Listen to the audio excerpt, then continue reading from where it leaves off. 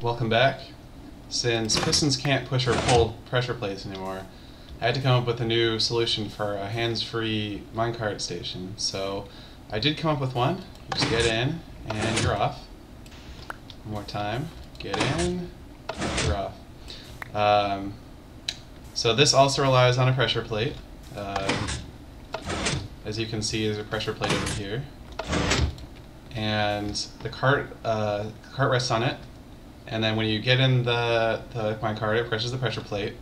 And I had to do a special trick so that the piston that's over here could push it. So let me actually show you what's going on.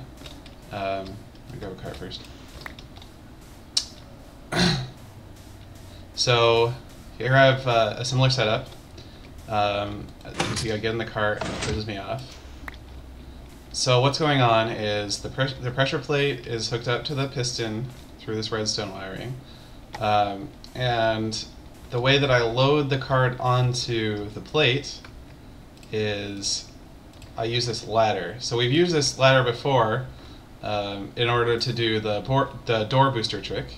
It's useful here to keep the minecart a little bit offset from where it would be if the ladder wasn't there. So if the ladder wasn't there, um, I can actually show you, then the cart would go go all the way up against the block before it dropped onto the plate, and and the and the piston wouldn't be able to push it.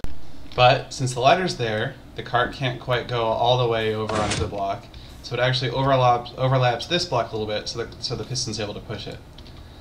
And we get the result that the the minecart's able to push the cart Oh, that's right, the ladder needs to be there.